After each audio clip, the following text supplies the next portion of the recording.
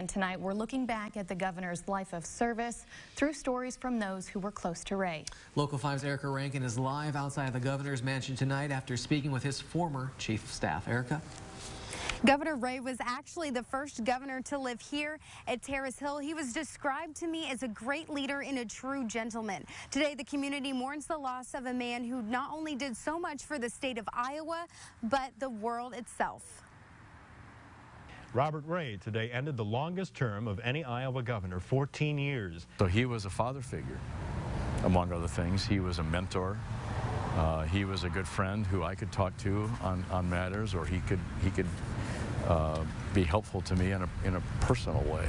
David Oman was on Governor Ray's chief of staff when he was in office. His word was good. He was trusted, and when he said something had to be done, generally they gave him the benefit of the doubt but he was always willing to negotiate. Oman saw firsthand the impact Governor Ray had on Iowa. Everything that he did always had a forward spin to it. What, what can we do now that will make the state better in 20 or 40 years? Well, now we are 20 to 30 to 40 years beyond, and we're still reaping the benefits of his leadership.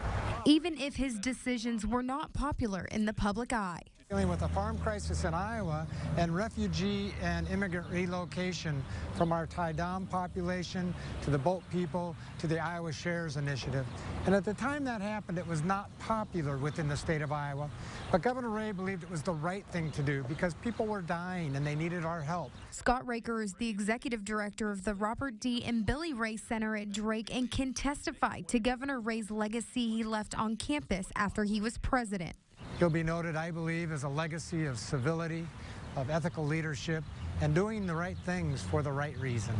Governor Ray knew how to work with everyone. He understood that this state's basically one third R, one third D, one third independent, and nobody can dictate. Governor Ray opened the eyes of many. He, he broadened my horizon dramatically, and he showed one how to live in public life, in the public square, so to speak, which is tough. And on Governor Ray's last day in office, he left on a high note after the press hosted a party and he finally said goodbye. I will be forever grateful for the opportunity to have served and led Iowa during these exciting times.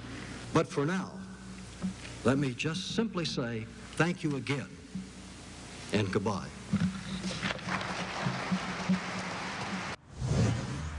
Governor Ray left behind a wife, three daughters, and eight grandchildren. Oman tells me that he will miss having someone like Ray around. Live on Terrace Hill, Erica Rankin, Local 5 News, We Are Iowa.